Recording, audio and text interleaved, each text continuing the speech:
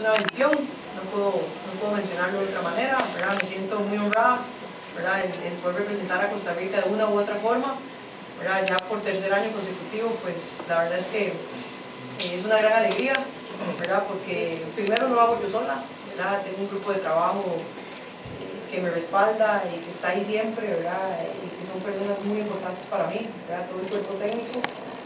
Eh, y luego obviamente las jugadoras, ¿verdad? Que, que son las que, pues, las que nos ponen a sufrir, las que nos ponen a brincar, las que nos ponen a saltar. Y bueno, agradecerles a ellas, ¿verdad? Este tipo de nominaciones o premios, pues, no son individuales nunca, ¿verdad? Nunca, siempre eh, todos tenemos parte, ¿verdad?